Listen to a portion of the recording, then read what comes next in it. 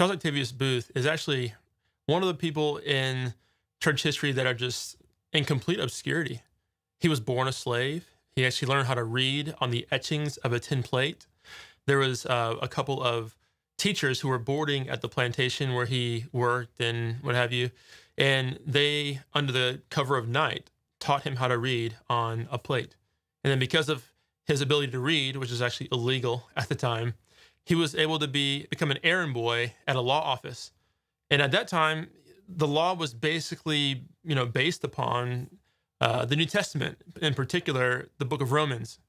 And so Boothe, he actually uh, was in this law office and reading, but in particular, the Bible. And through that experience, he comes to saving faith in Christ. And so from there, he, uh, you know, um, he was freed, you know, at emancipation in 1865. And then from there, he becomes a church planter, we would say today. He starts uh, two different churches, one of one of which is Dexter Avenue Baptist Church, which is the the, the church where the Montgomery bus boycott started after the arrest of uh, Rosa Parks.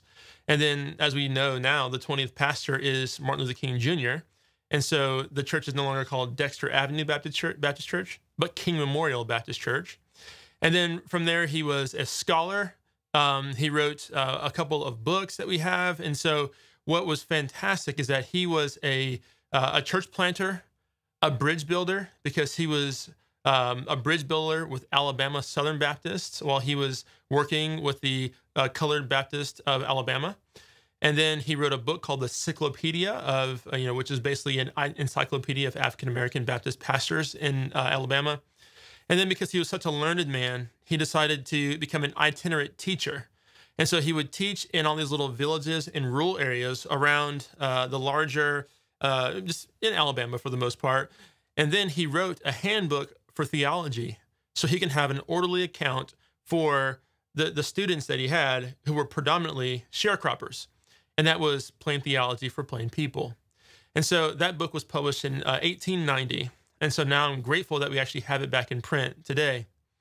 So Charles Octavius Boothe was significant in my estimation because he sort of gives us a window into the unknown. There, uh, there's many people that say, "Man, I wish we had more Charles Octavius Boothes out there." And I said, "Well, who's to say that there wasn't?" Um, I, you know, myself and a colleague and our librarian and I, uh, at the school where I work, we had to go through great lengths just to uncover the, his name, but even more to actually get our hands on plain theology for plain people itself.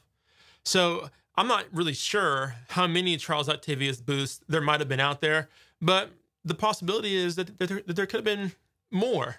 And so he's this window into a tradition that that no one really knew was there. And so that, that's an exciting possibility to me to keep digging around and you know, maybe finding the next Charles Octavius Boothe. And I think for many of us today, uh, Boothe is very important because he gives um, a theological form- formulation that's fairly similar to many of the theology textbooks that we read today, answering classic questions like who is God, what is sin, who is Christ, what is the church, which many theologians have asked those questions before. And so it gives us a sense that there are a variety of traditions giving a consistent witness to scripture, no matter what cultural background you're from. And then I would say from there, he begins to apply it, uh, you know, obviously to a completely different set of circumstances, but the foundation is clear.